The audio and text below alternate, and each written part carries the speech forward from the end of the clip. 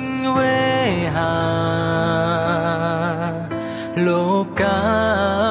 មិនដេញមិនអង្ភ័យខ្ញុំនឹងឃើញម្ដងម្ដងបានត្រឹម我今天不想过光棍节了តែអង្គុយយំ以后也不想了ទុំក្រៀមក្រ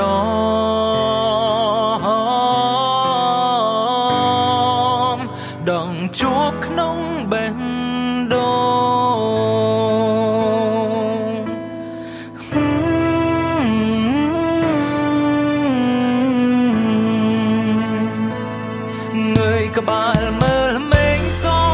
我要去巴黎了。